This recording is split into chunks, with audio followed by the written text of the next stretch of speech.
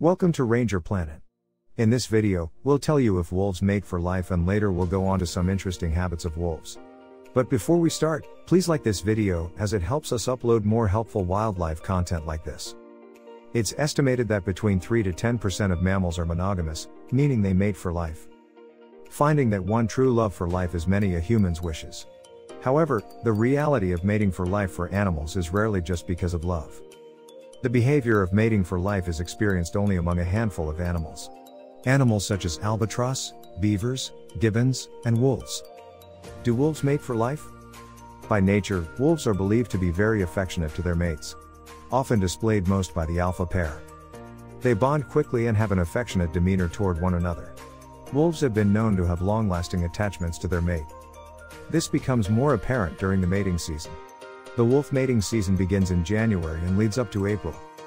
During the mating period, the alpha pair is believed to move out of the pack. They do this to avoid interruptions from other pack members. And during this mating season, it's only the alpha pair that mates out of the whole pack. Mainly to keep the population of the pack under control. The alpha pair is usually the dominant male and the dominant female of the pack who mates. Does only the alpha pair mate for life? The alpha pair is usually the male and the female wolf who hold the right leadership and self-confidence. The alpha title is given to the male and female who possess the right fearless attitude to lead and guide a pack. So, in time, as this alpha pair is the only pair that mates and breeds, they also come to be known as the breeding pair. However, there are some other controversies at play here, where it's believed that pairs other than the alpha pair, more often than not the beta pair, will also mate.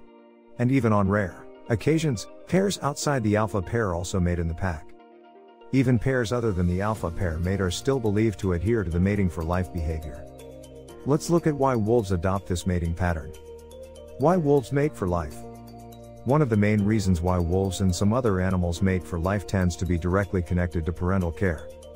This can be considered closely related to normal human parental care. A good mother father relationship directly affects the mental stability and healthy growth or raising patterns for offspring. On an instinctive level, a father who provides and safeguards the family to a mother, and who can lead a good family with love and affection makes for a healthy parental animal based relationship. Where survival is key and an important element of raising offspring. This is the exact reason why many animals, including wolves, stay loyal to one mate and will mate for life. Or do they? More on that shortly. Mating for life gives wolves a practical way to deal with the demand of rearing young and raising healthy offspring in the wild. The alpha pair as parents. The alpha pair is said to be the male and female of the pack who have the self-confidence and fearless attitude to lead a pack. These characteristics of self-confidence and fearlessness connect with good parenting. A father and mother who can fearlessly protect and provide for the offspring with experience and confidence can offer a promising future for their cubs and the sustainability of their pack from many types of potential harm. So in general, when wolves choose pairs to mate with, potentially for life, they opt for ones who have good genes and that can contribute to producing healthy and better offspring for the foreseeable future. Do wolves cheat on their mate?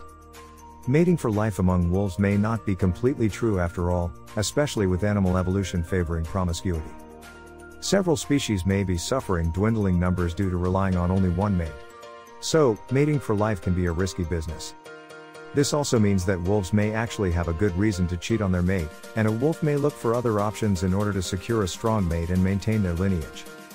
Practically speaking, there may often be situations where the mate for life may disappear, die, or be killed by a predator. It then becomes almost imperative that the female, or male, alpha looks for other options. Similarly, a situation may occur where the alpha male loses the ability to produce healthy offspring. It would then be necessary for the female alpha to find an alternative mate. The same applies to male alphas. Alpha males have been observed mating with non-alpha females, especially if they are closely related to the female. Likewise, the alpha females have also gone against this mate for life pattern. In some cases, the DNA of newborns in some wolves has shown possible mating with numerous males. So, it seems that after all, while the till death we do part myth may hold true in a generalistic sense, among wolves, at least. It may not be in its strictest form and could change depending on practical or natural phenomena. Wolves are indeed amazing animals. So, what do you think? Let us know your thoughts in the comments below.